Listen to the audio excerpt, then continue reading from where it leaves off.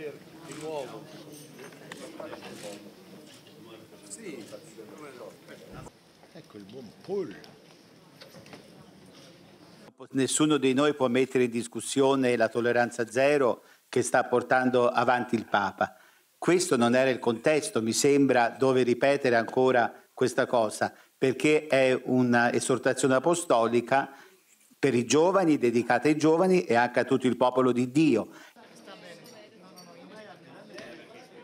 L'invita in qualche modo a richiamare i sacerdoti, a mettersi a fianco ai sacerdoti perché possano ritrovare la loro vocazione, la loro missione, il loro anche comportamento verso tutti coloro che appartengono al popolo di Dio, ai minori e a tutti eh, coloro che potrebbero essere eh, abusati o trovarsi in quella situazione. Con la parola a lei, Monsignor Fabene. Buongiorno a tutti.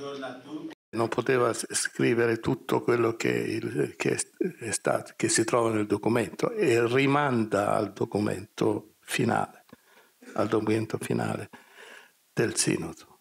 Per cui ha ritenuto che testo, questo testo è sufficiente perché sia conosciuto dai, eh, dai giovani e dice loro se non trovate quello che voi pensate potete andare al testo del documento finale.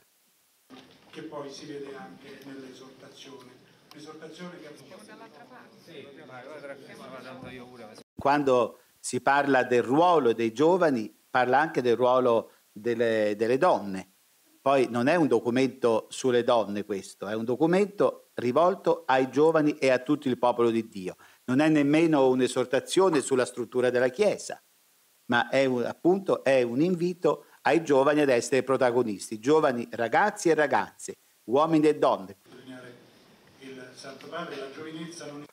Un'attenzione speciale è rivolta al, cor- al corpo e alla sessualità, essenziali per la costituzione dell'identità personale, all'ambiente digitale, tanto pervasivo quanto ambivalente, ai giovani migranti, paradigma del nostro tempo, tra virgolette, proprio sono le parole del testo, alle vittime di abusi, di potere economici, di coscienza sessuali, in particolare quelli commessi da ministri della Chiesa, si fa un riferimento.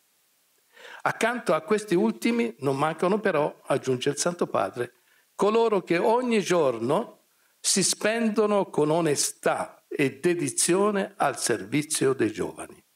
Essi sono maggioranza e la loro opera è una foresta che cresce senza far rumore.